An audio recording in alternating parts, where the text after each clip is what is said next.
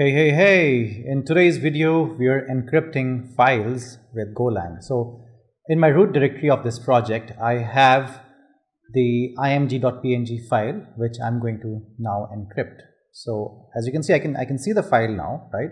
But if I encrypt it, so I'll say go run encrypt, uh, and I'll say img.png, which is the name of the file I want to encrypt and I'll enter some password, it'll confirm the password and it'll, it'll, encrypt it for me and say it'll say file successfully protected and now as you can see I can't see it anymore, I can't see the file anymore. But now if I go and if I just decrypt the same file, it will ask me to enter the password, it will say file successfully decrypted and now again, sorry, now again I can see the image. Awesome, right? So how is this happening? So let me let me take you through it. So in the beginning, what will happen is we will accept the uh, arguments from user, which is uh, the basically the file, the path to the file or the file name.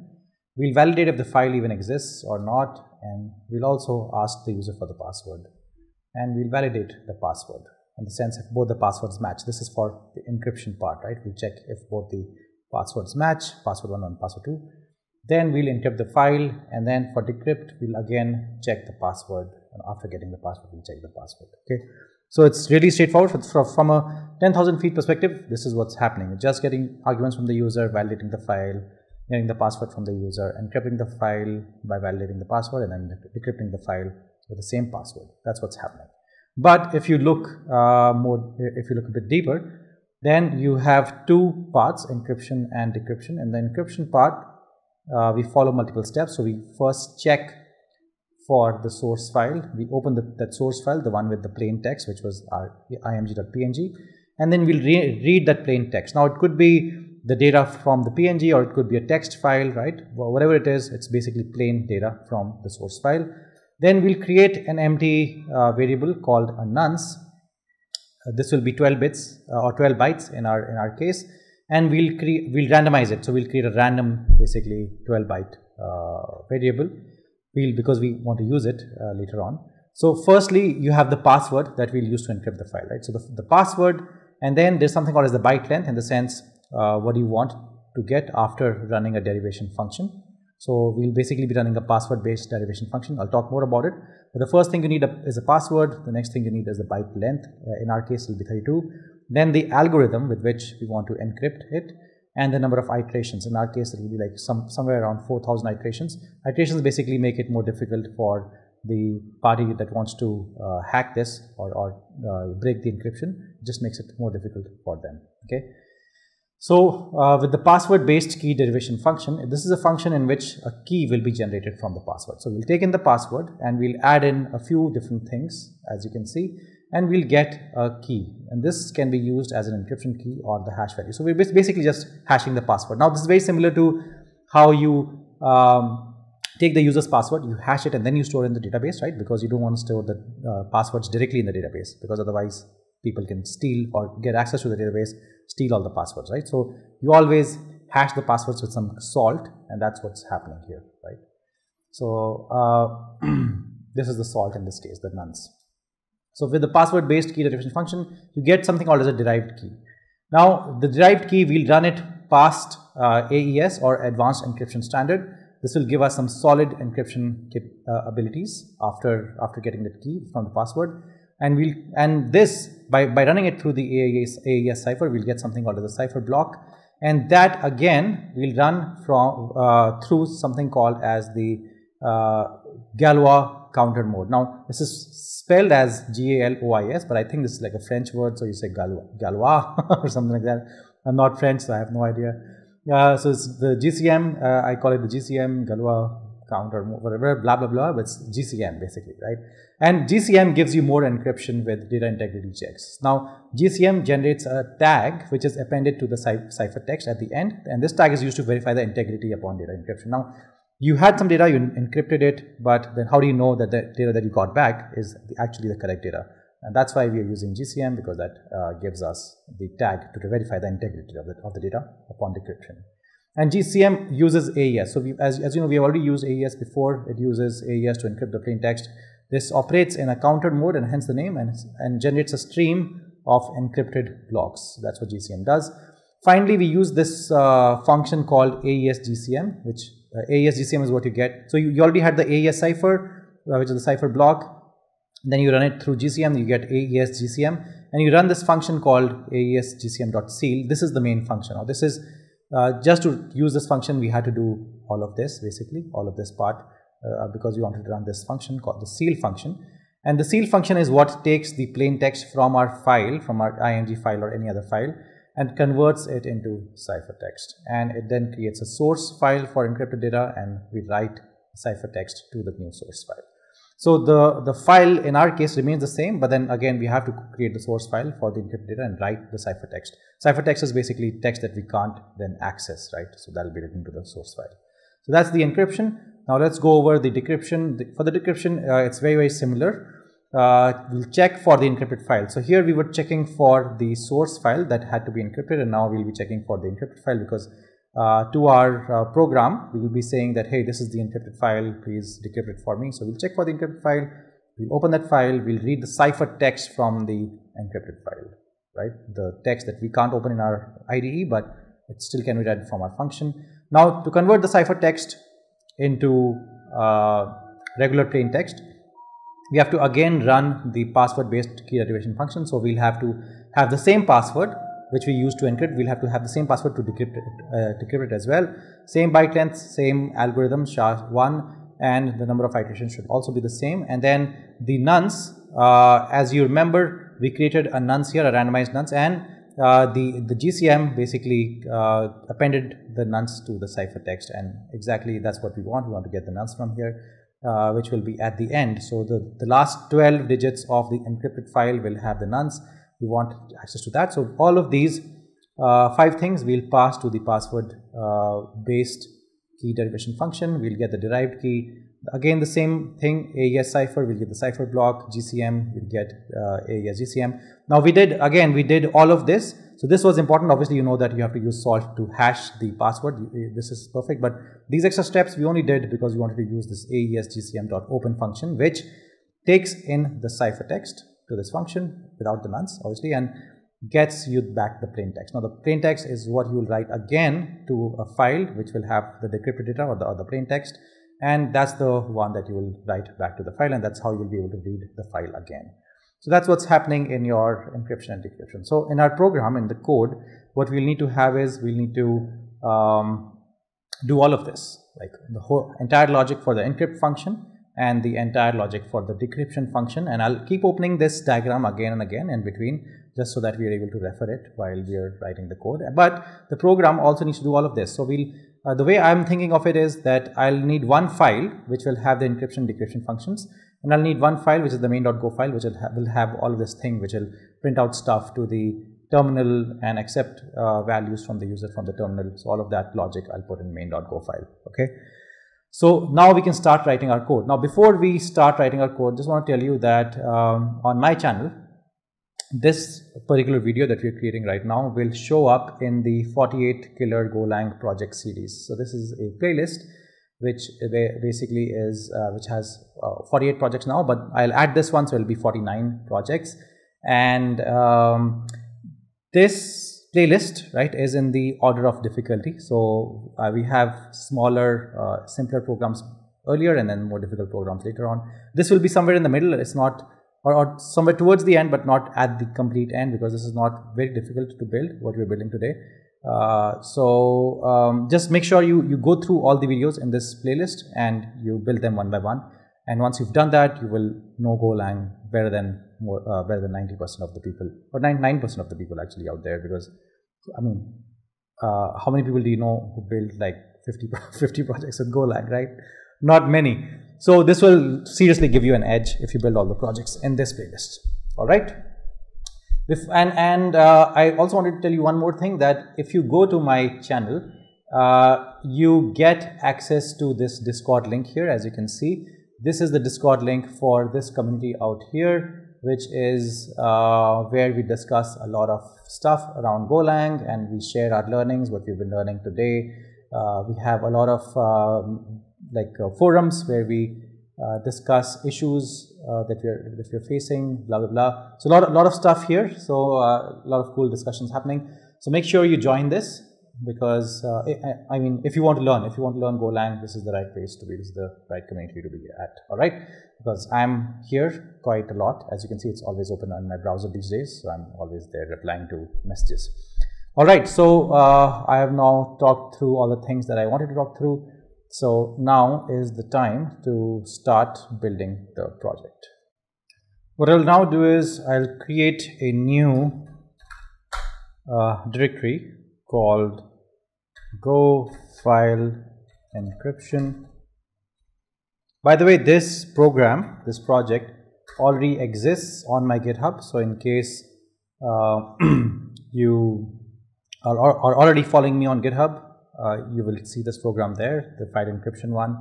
Um, in case I don't put the link to this project in my description of this video, uh, please know that my GitHub is Akhil Sharma 90, A-K-H-I-L S-H-A-R-M-A 90. The project is there. In case you get stuck somewhere, um, you can access the code, you can look at the code and build along with me, right? So here I will cd into it. I will cd into go file encryption and we will say go mod init github com slash Sharma 90 slash go file encryption. This creates a um, go.mod file for us which will have the list of all our dependencies and I will just go ahead and open this up in my code editor. Here I'll just create a um, main.go file and I'll create a folder for file crypt. And there will be a file called file filecrypt.com okay. Now I told you that I'll divide the logic into two different parts. One will be the uh, interfacing with the user part and the other will be the actual encryption and decryption. So let's talk about the part where we'll accept user values. So we first start with, sorry, package main, not make. We start with package main, all right, and there will obviously be func main, which is from. So main is the most important file, main.go is the most important file, which is obviously the main package again, and then it has the main function, which is where the uh, program begins from or origins. Everything starts from here, and then this is why from this function we have to call all the other functions. This is like the root or the source of everything. Then there will be an import statement here and I'll import multiple uh, packages in a while. So firstly, I want to check if the length of the arguments. Now to, to work with arguments to print out messages to the CLI, we could use something like Cobra, which is a CLI tool, and I've uh, and I already have uh, projects with that. I think uh, that's very commonly used in Golang, as you know, Cobra. Uh, we're not using it here because we have like very few operations and we can do that uh, on our own. We don't need to import a complete library just to print out stuff to the terminal and to work with some arguments, right? And uh, here we're just checking if the length of the arguments is less than 2. If it is less than 2, then we'll print help. In print help, we'll basically print out, uh, so there's a function called print help. It's print help, which basically tells the user on how to actually use this uh, project. So if he's not, if the user is not uh, entering, let's say encrypt or decrypt and the name of the file, that means he doesn't know how to use this function, right? So he'll just print help out in that scenario. And the other thing is function equal to os dot. Args 1 and we'll switch function. So what do you want to do? So do you want help? If you want help we'll just print help. We'll just call the print help function. If you want to encrypt we will call the encrypt handle function. If you want to decrypt we will call the decrypt handle function. And then there is a default which is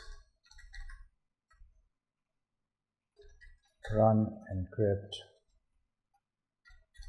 to encrypt a file and decrypt to decrypt a file right? Just telling the user that hey please run encrypt to encrypt the file and decrypt to decrypt the file.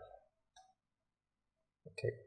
So that is our main function. Now as you know we're calling three functions from the main function. One is the print help encrypt handle and decrypt handle. So we're going to call we're going to create all those functions.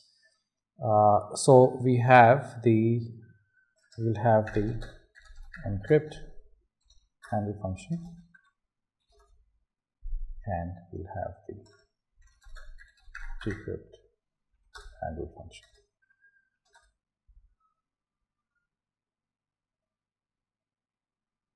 There are three more functions that we'll need in the encrypt handle. There is the um, get password to get the password from the user and then we have the validate uh, so we have the get password function. We have the validate file and validate password functions. So let me create those.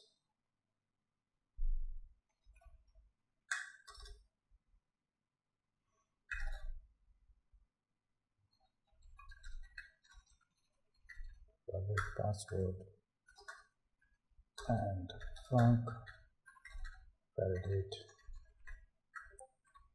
validate file. Okay so in the print help print help is going to be very straightforward. So i'll just go ahead and copy and paste. Actually you don't have to write this whole thing on your own. So this is basically saying file encryption simple file encryptor for your day-to-day needs uh, which is the name of the program and then what it does and then showing you usage that you can uh, go run. And uh, when we say dot basically means it runs all the files in uh, at the root which is our main.go and also our file.crypt.go uh, folder or package. And it will basically uh, you want to pass the path to your file. In our case we'll just say img.png which will be a file that I'll copy and paste here. You can copy and paste any file here. I'm just using this apple file here and then you have the commands. The commands like encrypt decrypt and help. We'll have three commands. Encrypt will encrypt a file with a given password. Decrypt tries to decrypt a file using a password and help which displays the help text which is uh, this particular function gets called there. Now for the encrypt handle which is the most important one uh, sorry the encrypt and decrypt actually are both uh, really important because that's the logic main logic here we'll check if os dot if the length of os dot args is less than 3 that means uh, you have written you have written that uh, you, you want to run the program and you want to encrypt but you've not passed the uh, the the file right? So it's arguments are less than 3 then you will print ln. You will print out missing the path to the file.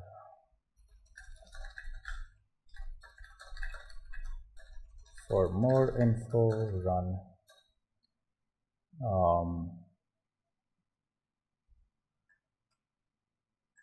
instead of encrypt we'll say run the help command.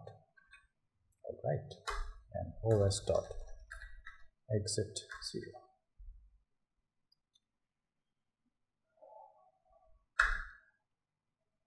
If everything is all right, then what you want to do is you want to get the arguments or which is basically the uh, arguments at the second index, which is the third argument, uh, which in our case is the path to the file. You want to get it in this variable called file and you want to validate. So if not validate file, and you pass the file there. And you just panic. File not found. So what happens in the validate file function? When this gets called? It. Basically, it takes in the file which is string and it passes back a boolean which is that's how we are checking it here. You know true or false? This exclamation helps us check that. So if it's not uh, valid then we say file not found. Okay? And how does it return the boolean? It's basically using the os.stat function on the file and saying if error equal to os dot is not exist return false it doesn't exist return false. If it exists return true. That's how we're checking for it out here. So for the encrypt part we have checked um, the validity of the file and not found. Now the next step is to ask for the password. So we'll say password is equal to get password. Right? So we already have the get password function. So what does it do? It returns the password which is a slice of bytes. And how does it accept the password? It says first it prints out enter password. Then it's going to use the terminal terminal package to read the password and going to capture that in the password variable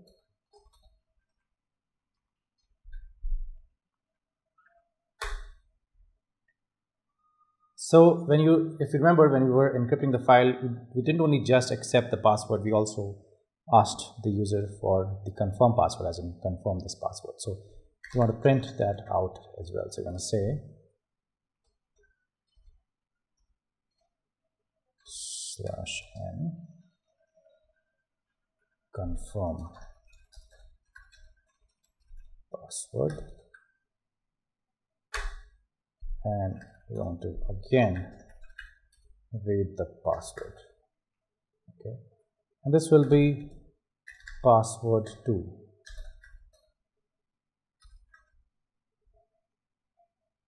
and here is where we will validate if the password 1 and password 2 are the same they're matching.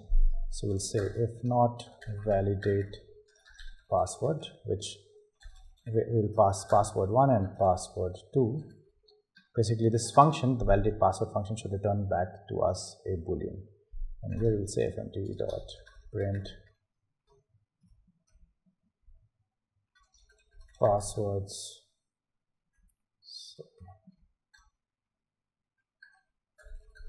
Do not match. Please try again. Done. Get password if the passwords don't match we want this function the get password function to be called again and again ask the pass uh, the user the password so if everything went well we just want to return the password from here which is a slice of bytes okay?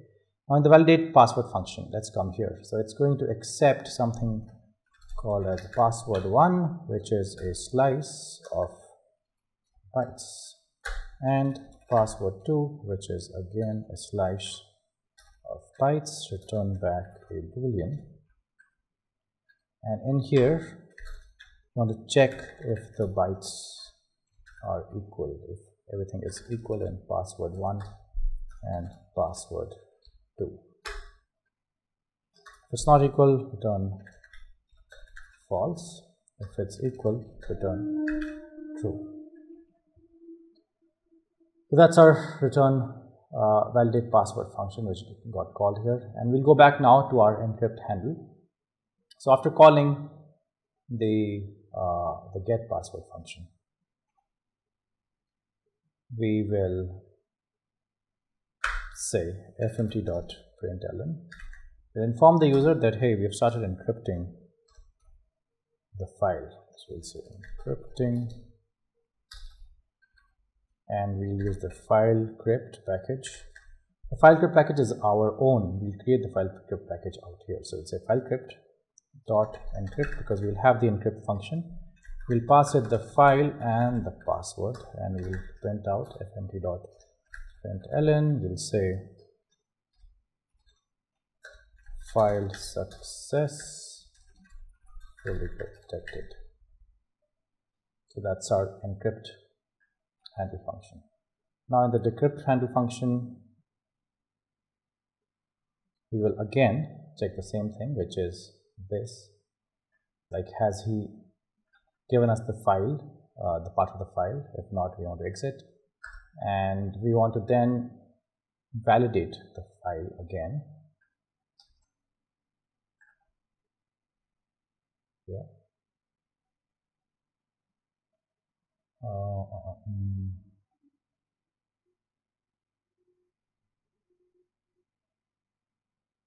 and you want to ask the user for his password. So we'll say fmt dot. Print. Enter password. And we want to say password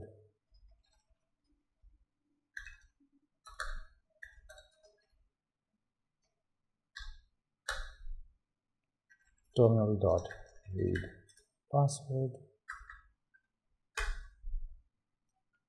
And after taking the password we'll just print out instead of encrypting we'll just print out decrypting. And instead of encrypt file the uh, function the encrypt function will just call the decrypt function passing the file and password and here instead of protected we'll just say decrypted. Perfect. So we have the encrypt handle and decrypt handle functions. Perfectly ready get password validate password validate file and encrypt handle print help and name.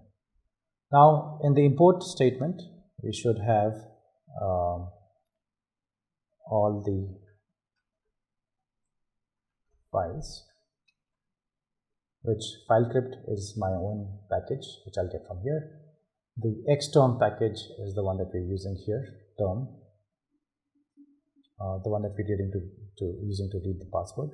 And then we have bytes, FMT and OS, okay, so that's how it is. Now I can already see some issues and errors and some of them should go away once I've completed my file crypt.go file, but then there will be many others uh, that we fix, not a problem. And now let's go ahead and start working on our filecrypt.go file. So starting with the filecrypt.go, this package is going to be called filecrypt. And we'll import some packages, of course. Then we have two functions. One is the encrypt function, as you know, and the other is going to the decrypt function.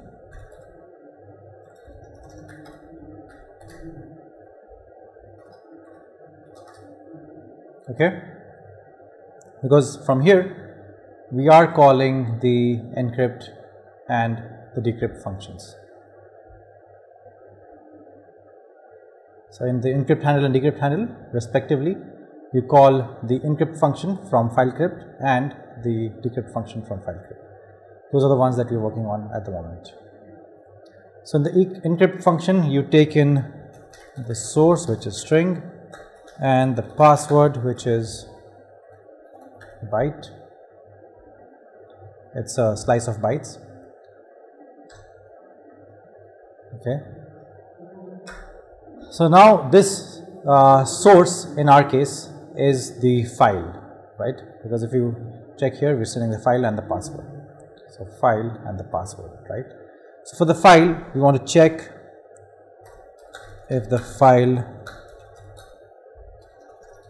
let me actually open up the browser and show you the diagram again and we'll follow the exact same steps. So here it is, we'll check for the source, open the source file, read plain text from the source file, create an empty nonce, randomize nonce. Let's do let's do those steps. So first is os.stat, then the source os dot is not exist. And if it doesn't exist we are just going to return an error.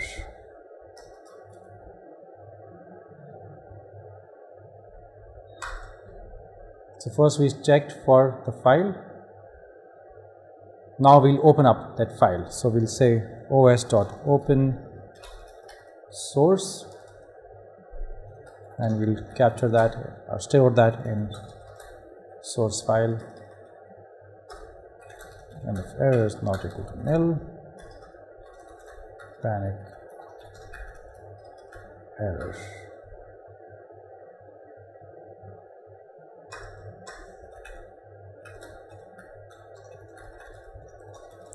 At the end of this program, when this function stops running, we want to also close that source file. So that's why we'll say defer source file dot close.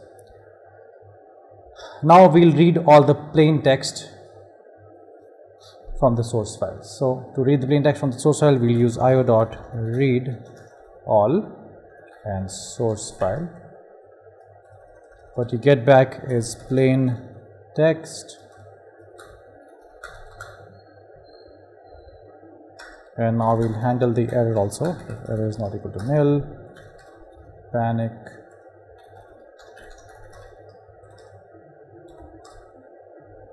Now the password that you have you want to store it in a variable because we want to work with it so we'll say key is equal to password. And now we'll create an empty nonce this is an empty nonce make and it's a slice of byte and of 12 so it's going to look something like this. It will be 0, comma 0, comma 0, comma 0, right? 0, 0, 0, 0, 0 till 12. So 12 different values, all of them 0. That's what you create with this now. And now we will randomize the nonce. Okay, so we have created the empty nonce. Now we'll randomize it. We'll put uh, random values in it. And the way to do that is we'll say io dot read full random dot reader. So fill it with random values and error is not equal to nil. Panic error dot error. Awesome. What's the next step now? So my screen the next step is we pass all these values to create into the password based derivation key derivation function. Okay. So the password based key derivation function is available to us in a package of the same name pk pbkdf2 and that function we pass the key the nonce 4096 as the number of iterations 32 as a length and sha1 dot new as the algorithm so if you look here, we are passing the password to encrypt the file, the nonce, the number of iterations, SHA-1 and the byte length which is 32 in our case and this is the number of iterations. What you get back from his, this is called as the derived key, DK. So we'll just, in short it's DK. This package that we're getting everything from is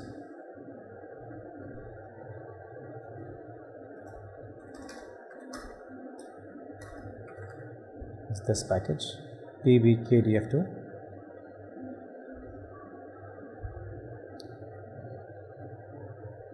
so now we have the derived key. Now we will create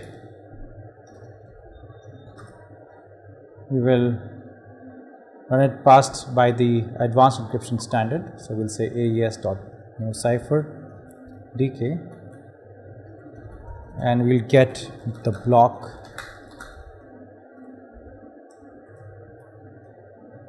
and we'll handle the error also. So we'll say if error is not equal to nil, panic error. Okay, so we have this now, the cipher block, and now we going to use the Galois, whatever it is, you know, GCM, I'll call it GCM, so it's the new GCM function so I'll say cipher dot new GCM function and I'll pass in the block. And what you get back is AES GCM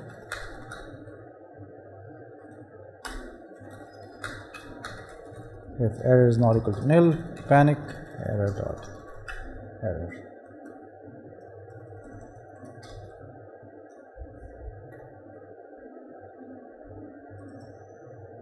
Okay so as, as you know, we did all these steps to to be able to run the seal function here, which is what creates the, uh, which is, is what converts the plain text to ciphertext. So coming back here, let us use the AES GCM dot seal function. This is what's going to take the plain text for us and send back the ciphertext and you uh, append the nonce. So there is one thing that I have not drawn here, but I have actually talked about it here is that we add the 12 byte nonce at the end of the encrypted file. So we want to do that now. We want to append the nonce to the ciphertext.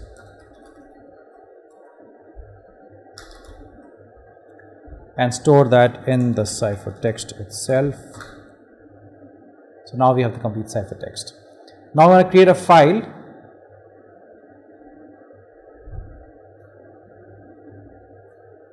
source file for the encrypted data and we want to write the data to the source file.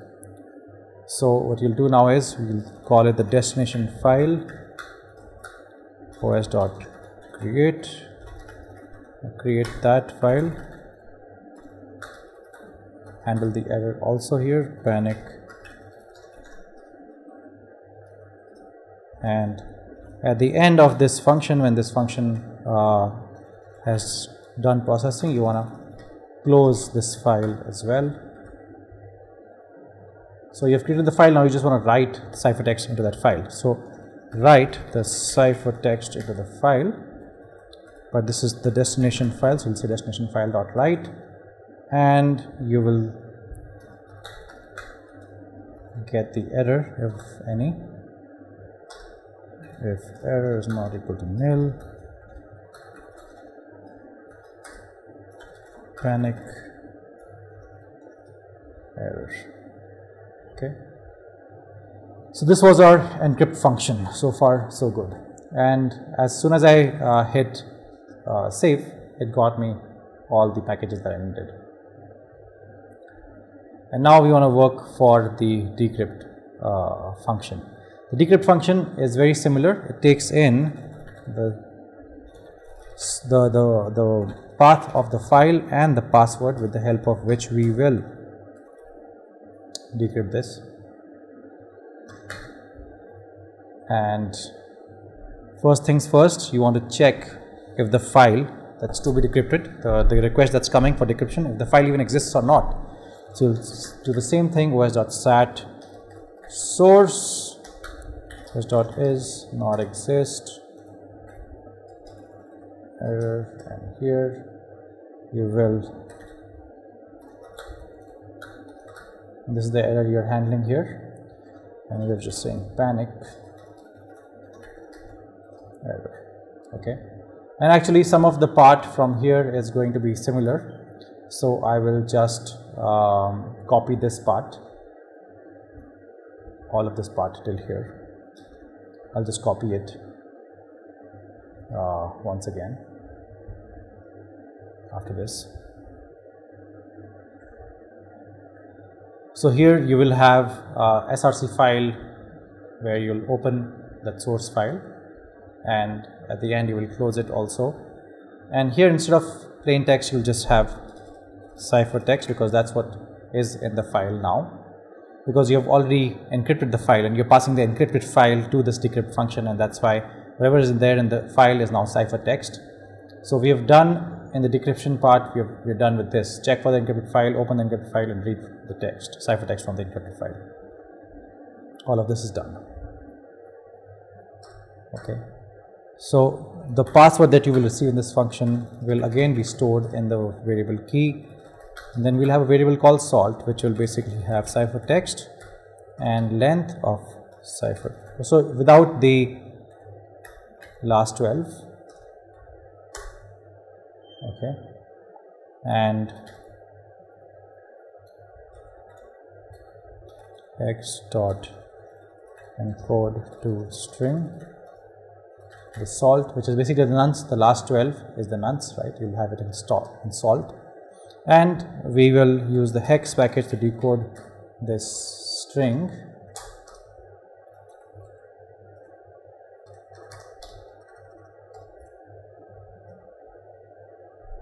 and we will store that in str.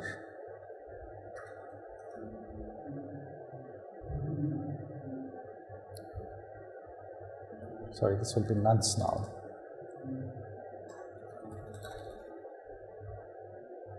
Okay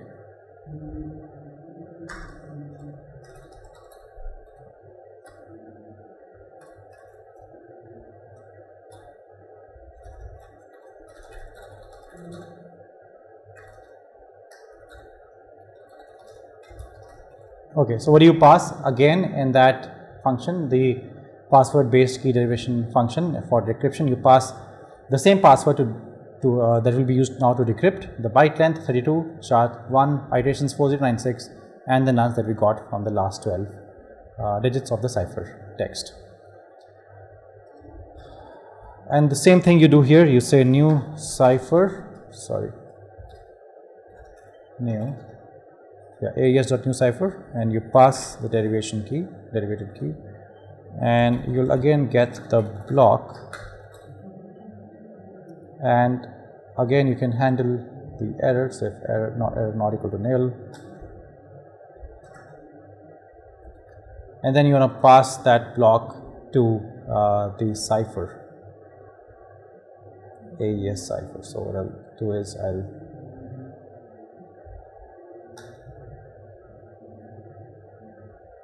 yeah we've already done that and now we want to pass it through the CGM GCM sorry. Yeah.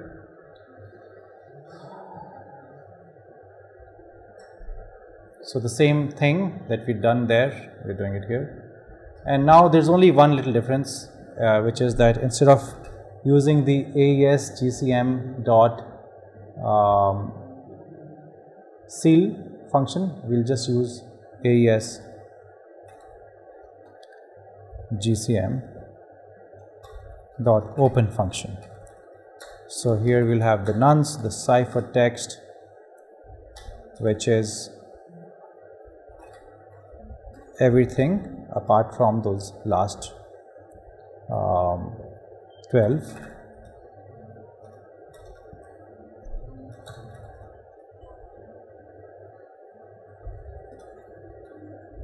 and what you get back from this is the plain text. Okay, so what you're seeing now is uh, step by step we're just looking at the diagram and we are uh, converting the diagram into code. Okay, so our flow chart into code. Again, let's handle the error here and then we'll again create the file like we did last time, the destination file. So I'll copy and paste that part here. And now we will write plain text to this file. So instead, here we wrote the ciphertext to the file, and now we will write the plain text which we have received to the file. So here what was happening in the encrypt function, what was happening is that you ran that function called uh, the seal function which gave you the ciphertext. To run the seal function, AES GCM seal function, you had to uh, do all of these steps, which is get the plain text and then create your nonce, have your password ready, uh, create a derived key with pbkdf function, uh, use advanced encryption standard, new cipher, create a block, cipher block, pass the cipher block uh, with GCM and get AES GCM and then you are able to call the seal function to get the ciphertext with all those values. Here exactly the same things. You just had to call the AES GCM dot open function because this will give us the plain text from the ciphertext. Ciphertext is everything apart from those 12 last digits which actually was the nonce uh, in our case for nonce, right, the salt uh, which we can convert into nonce here. And uh, then finally, just like we did in the encryption file, we created a file and then we wrote plain text back into that file. And now when we open up this file, we'll be able to access it, right. So as you can see, I have a lot of errors and I'm not at all scared because now when I go ahead and run this program, uh, I will come to know what the issues are. So I'll say go run encrypt ng.png and here I see all of these issues. It says uh, file crypt to add file crypt and yeah so xterm and file crypt are not there that means I need to say go mod tidy so first I'll get these packages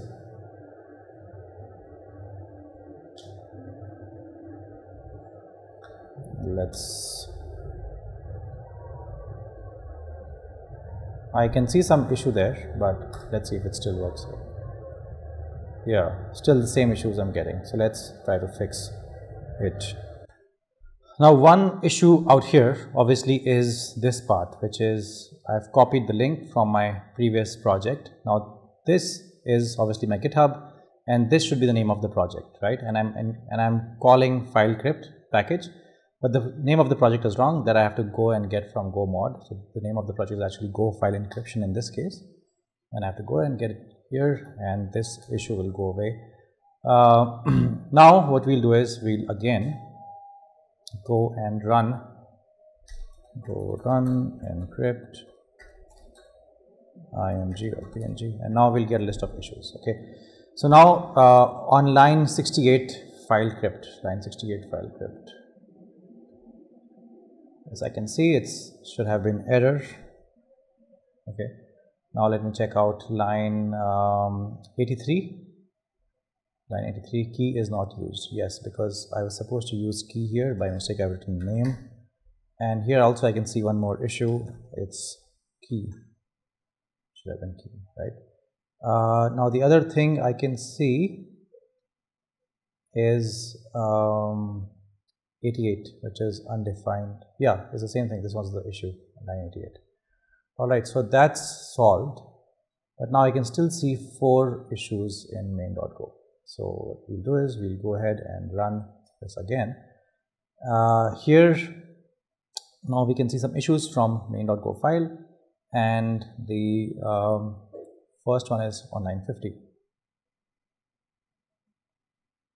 okay and then on line 66 and then on line 87 print. Line uh, 102 right? So what i'm trying to show you here is with if you're working with technologies like golang and rust you don't have to worry at all about making mistakes in the code. So don't depend too much on extensions, right? So many people would tell you get extensions that help you uh, not make any mistakes in the code while writing the code uh, for spelling and for for uh, you know Golang. So don't I would suggest don't uh, don't depend too much on that. As you can see, I, I wrote everything myself, and uh, I just depended on the on the Golang compiler to tell me the issues, and I just solved them one by one. So just just depend on Golang compiler because when you're in an interview when you're giving the interview for some company uh, you're not sure what kind of environment you'll get to write the code with. Mostly it's an online environment right? And you have somebody on a call you have an online environment and you have to write the code in that online environment. That won't have the extensions that you want and that you work with. So it's highly recommended that you don't depend on extensions. I've had many of my friends get into a lot of trouble because of that. Um, but but know how to work with the golang compiler a lot. Like get very very good at debugging code okay? So uh, now things should work. So it says it asks me to enter the password. And I will enter the password. It will ask me to confirm the password. I'll confirm the password. It will say file successfully protected. Try to open up the file I'm not able to okay? And now what I'll do is I'll just run this um, again with instead of encrypt will be decrypt and I'll just enter the password I had used earlier. And now as you can see I can check out the file. I can look at the file okay? So this was our project. Everything works perfectly fine. Thank you so much for watching. Uh, this I would say is, is uh, an intermediate level project. It's not very advanced. It's not very simple. Uh, like it's not a beginner level project probably. And it's not an advanced project also. Somewhere uh, in the middle but I hope you learned a lot. Thank you so much for watching. If you haven't subscribed to this channel, make sure you subscribe. I'll come up with awesome content like this in the future. Thank you so much.